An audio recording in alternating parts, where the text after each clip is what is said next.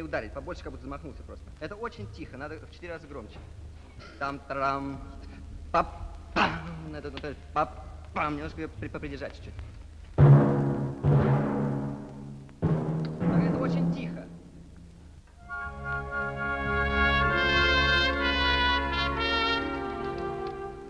Возьмем.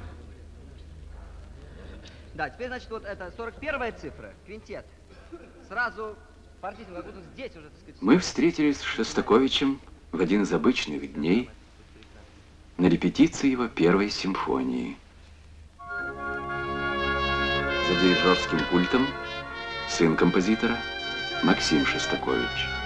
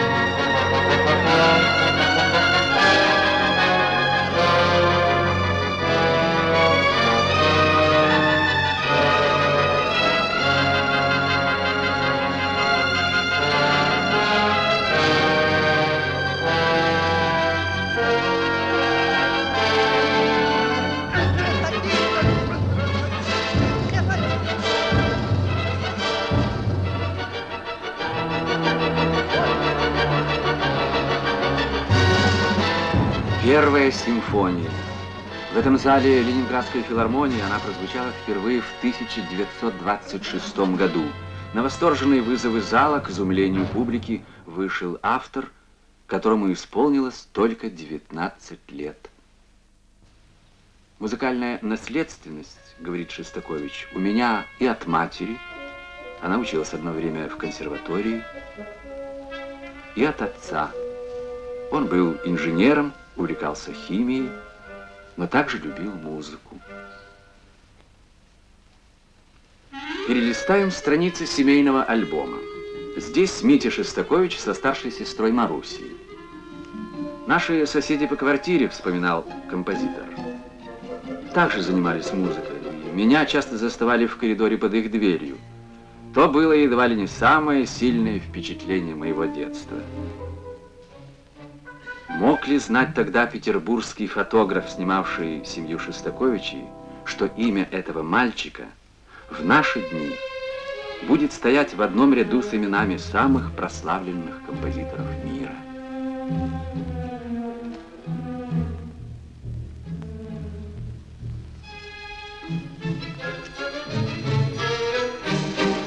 Петроградская консерватория Счастливые воспоминания в жизни многих музыкантов. Здесь хорошо помнят, как однажды директор консерватории Глазунов пришел в ярость, узнав, что его помощник лишил Шестаковича стипендии. «Если имя этого студента вам ничего не говорит, — сказал Глазунов, — то вам здесь не место. Шестакович — одна из лучших надежд нашего искусства». Дмитрий Шестакович учился на двух факультетах — композиторском в классе Штейнберга и фортепианном у профессора Николаева. В этом классе, когда-то это был класс римского-корсакова, давал уроки профессор Штейнберг. Ему, говорил Шестакович, я прежде всего обязан тем, что научился ценить и любить хорошую музыку.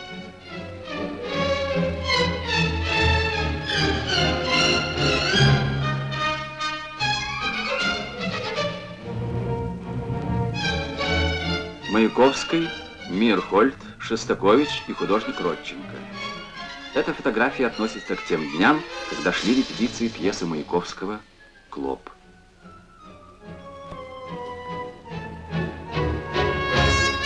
Всеволод Мирхольд предложил написать музыку к спектаклю молодому, еще малоизвестному Шестаковичу.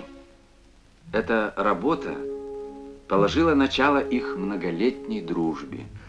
Дружба – Она связывает Шестаковича с интереснейшими людьми нашего времени. Таким был Иван Иванович Солертинский, выдающийся знаток музыки, историк и теоретик искусства.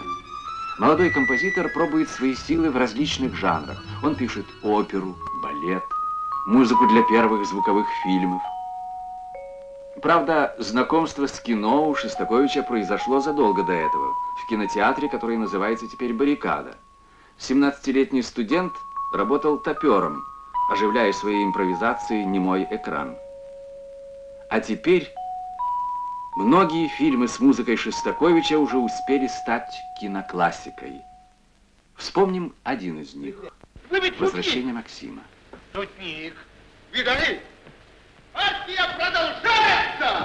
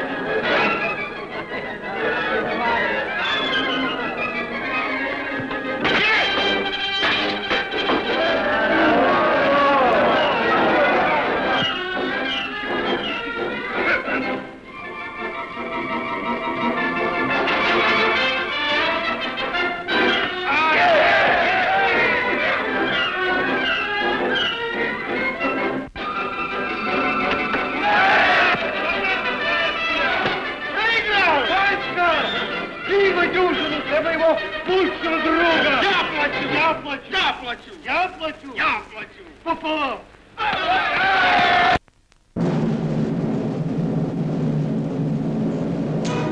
Более 40 фильмов. И среди них такие выдающиеся творения, как «Гамлет», отмечены высоким искусством Шостаковича.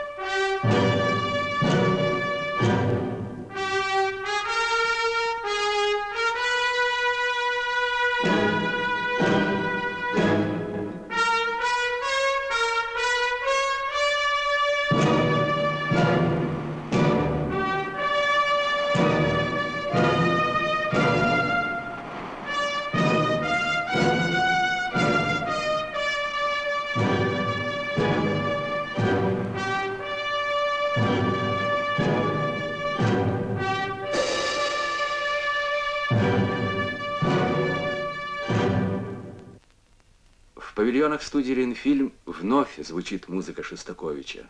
Мы на съемке фильма оперы Катерина Измайлова. В главной роли Галина Вишневская. Кто краше солнца в небе, кто краше солнца в небе?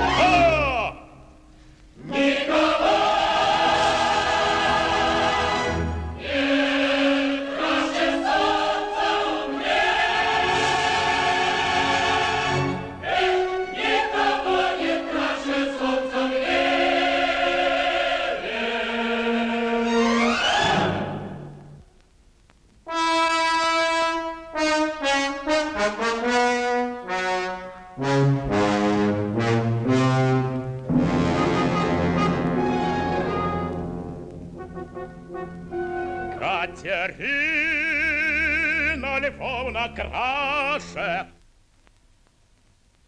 Дмитрий Дмитриевич Шостакович. Волнение охватывает всех нас, когда мы произносим это имя. Великий композитор, великий человек. Мне посчастливилось быть первой исполнительницей вокального цикла сатиры на стихи Саши Черного. А сейчас сбылась самая большая мечта всей моей жизни. Я пою Катерину Измайлову. Но, к сожалению, эта интереснейшая работа подходит к концу.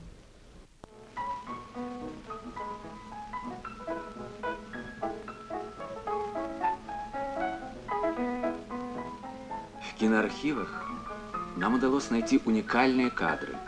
Шестакович проигрывает клавир оперы Владимиру Ивановичу Немировичу Данченко. Итак, товарищи, задача нашего театра развернуть музыку Дмитрия Дмитриевича, развернуть в ней все эти страсти, все положения, образ в такой сценической форме, чтобы глаз видел то, что слышит ухо. Так сказать, очеловечить его музыку. Делать это в такой же эмоциональной форме, какой э, насыщена его замечательная вещь. Причем,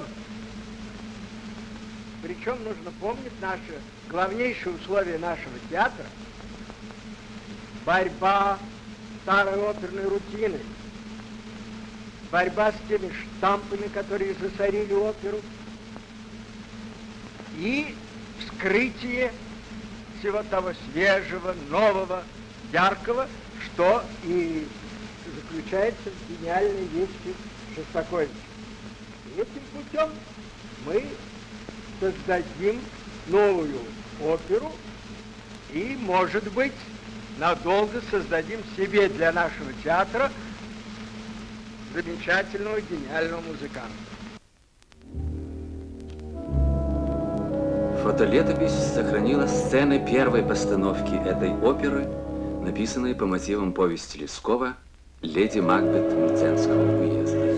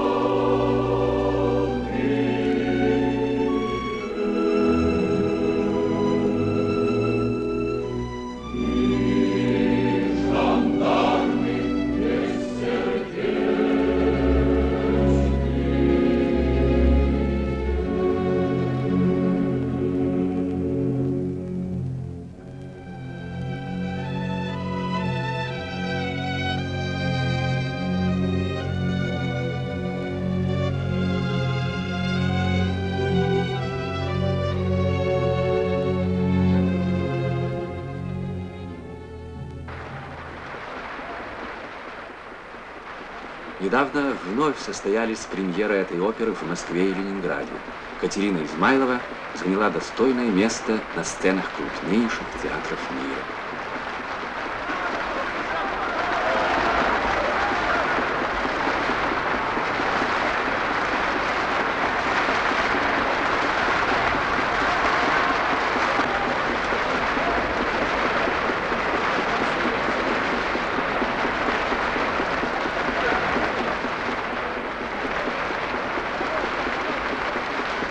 Я счастлив, что мне представилась возможность сказать несколько слов о моем одном из самых любимых композиторов Дмитрия Дмитриевича Шостаковича, которого я люблю с самого детства.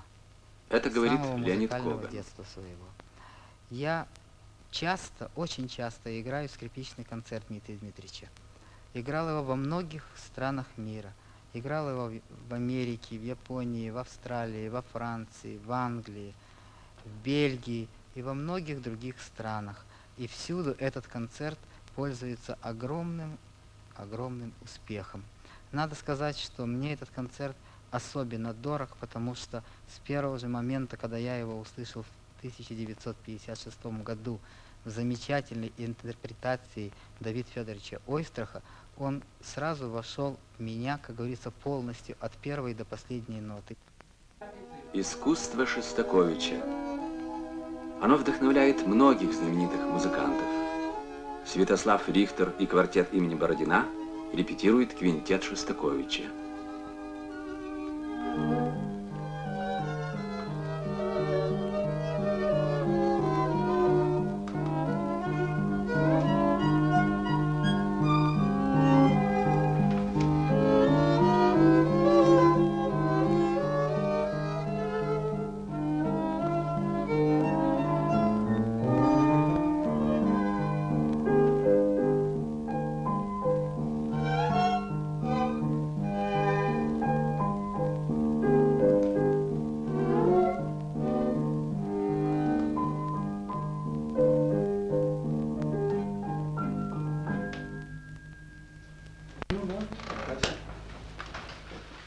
Посмотрим, как вечером будет, да? Сейчас я полностью поглощен разумием нового концерта для виолончели с оркестром.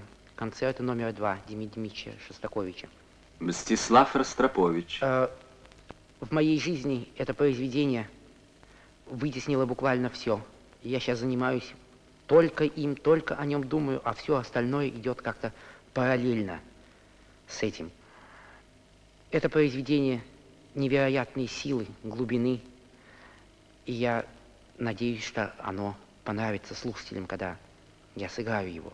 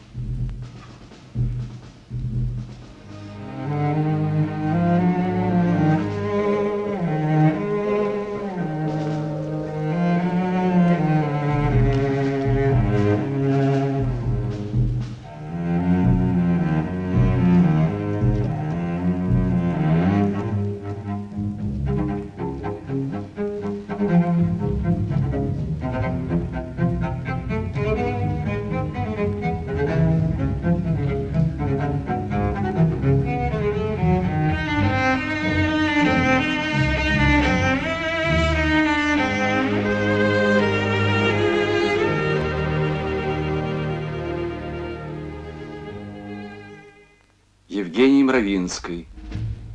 Он был первым исполнителем многих произведений Шестаковича. Под его управлением впервые прозвучала пятая симфония. Сейчас вы слышите ее финал.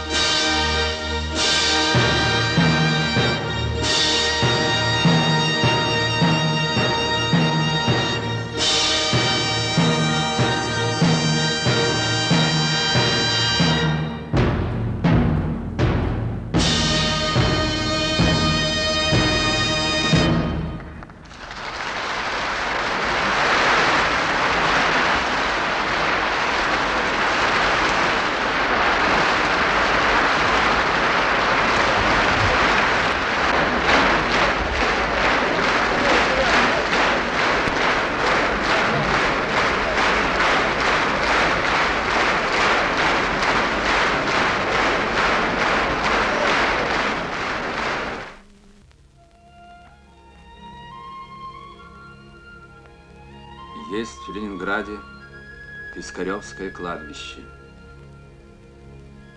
Это одна из святынь нашего народа.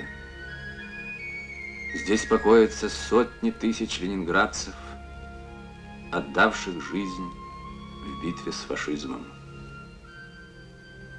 Уже четверть века с тех пор, но никогда не сотрутся в памяти жестокие годы блокады, годы заданий и мужества.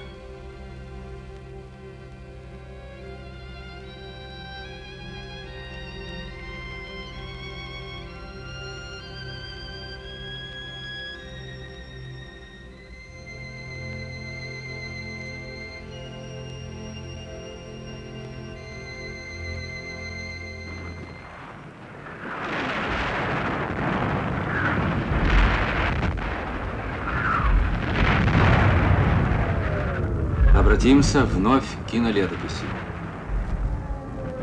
Днем и ночью не умолкало сражение у стен Ленинграда. Перед нами редкие кадры. В осажденном городе Шостакович работает. Он пишет седьмую симфонию.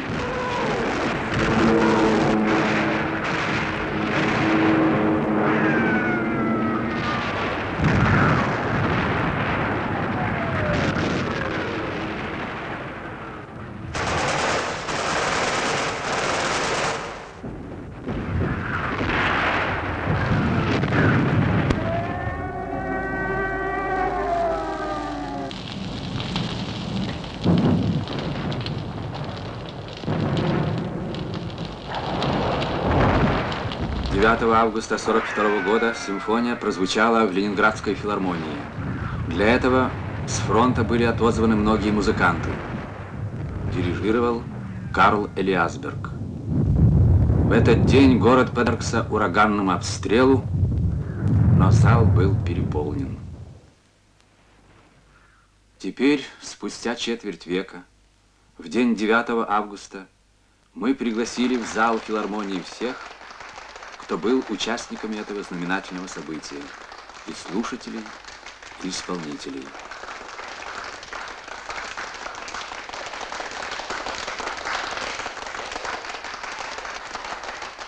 Немногие остались в живых. Ведь позади была большая война.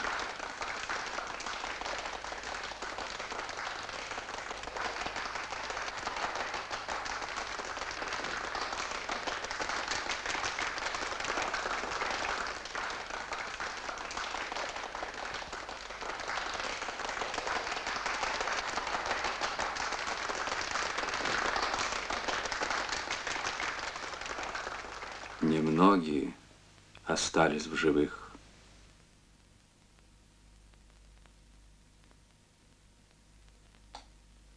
Тому, кто знает, что такое война и осада, и 125 граммов хлеба в день, и смерть близких, кто в глухие промерзшие ночи слышал стук метронома, говорящего, что город жив и готов к отпору, тому есть что вспомнить, вслушиваясь в музыку Шостаковича.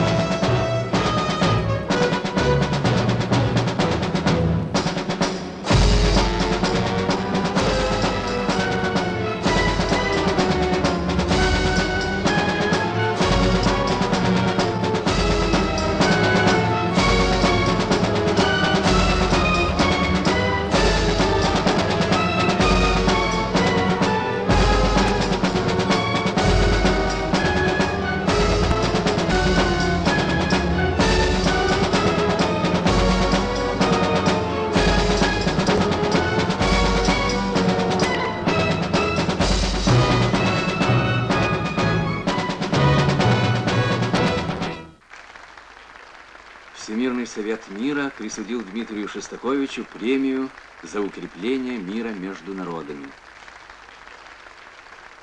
От имени миллионов людей Шостаковича поздравили Назым Хикмет,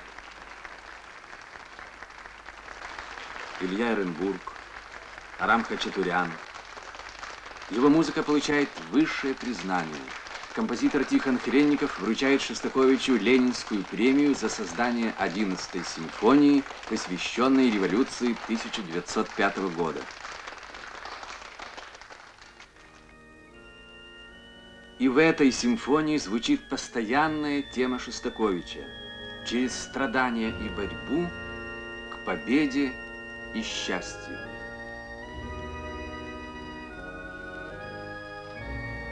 Одиннадцатая симфония.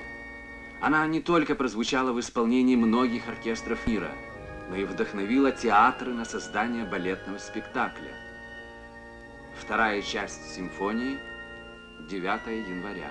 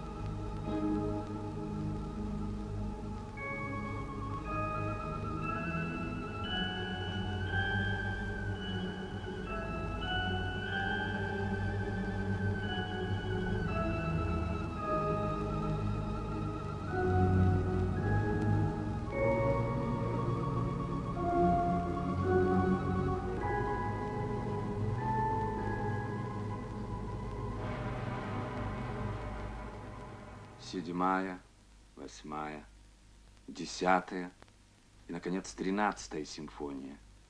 Глубокие раздумья художника-гражданина о нашем времени великих и трагических событий. Стихи Евтушенко. Над бабьим яром шелест диких трав. Деревья смотрят грозно по-судейски. Над бабьим яром. Мне кажется, я — это Анна Франк, прозрачная, как веточка в апреле. Мне кажется, я — это Анна Франк. Мне кажется...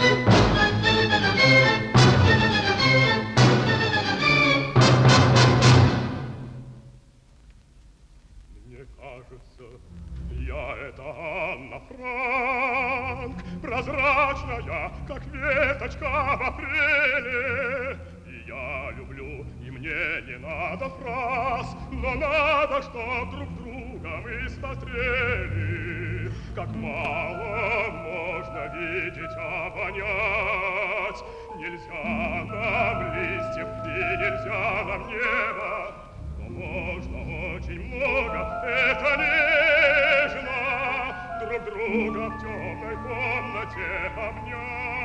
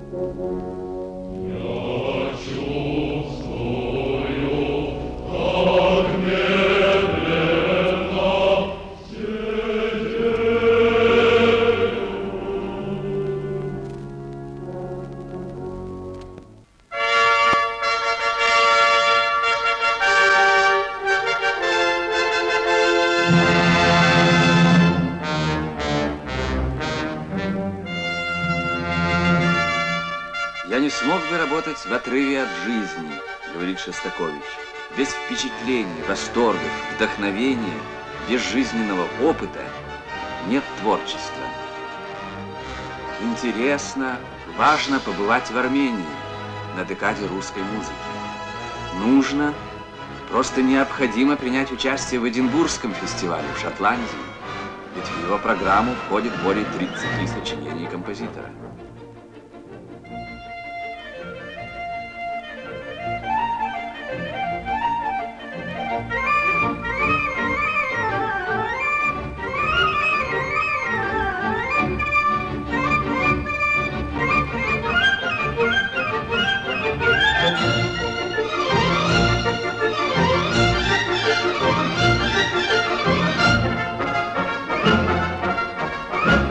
После Эдинбурга Горький.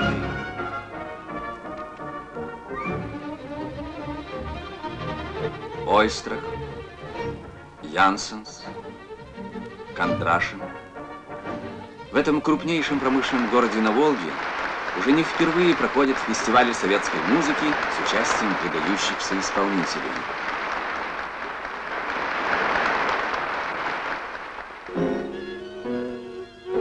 Слушатели встретились здесь не только с Шостаковичем-композитором. Он выступил и как один...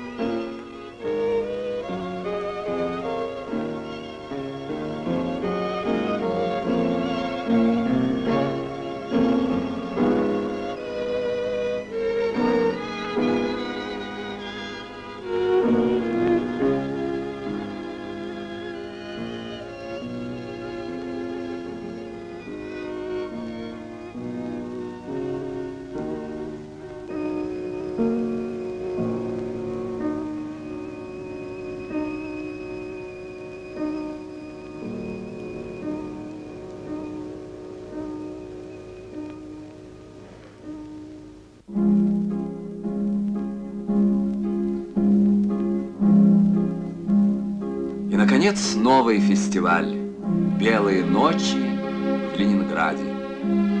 Особенный, торжественный. Он состоялся в канун 60-летия Дмитрия Дмитриевича Шостаковича.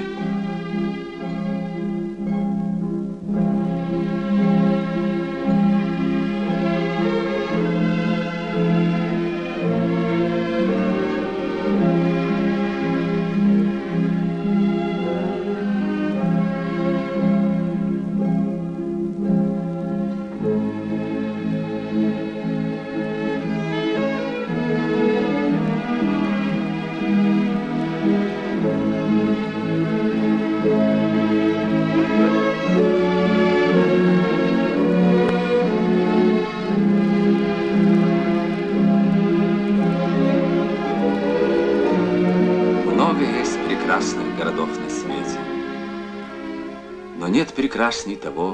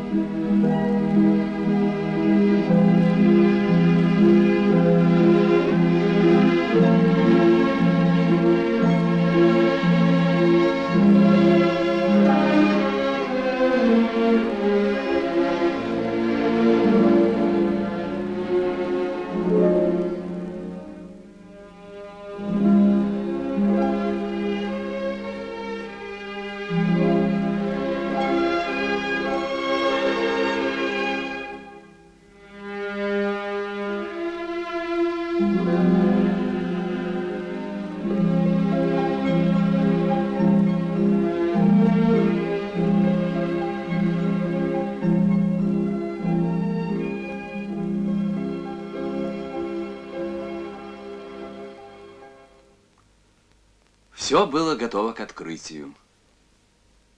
Но композитор не смог быть на этом фестивале. Сказался невероятный темп жизни. Стало сдавать сердце.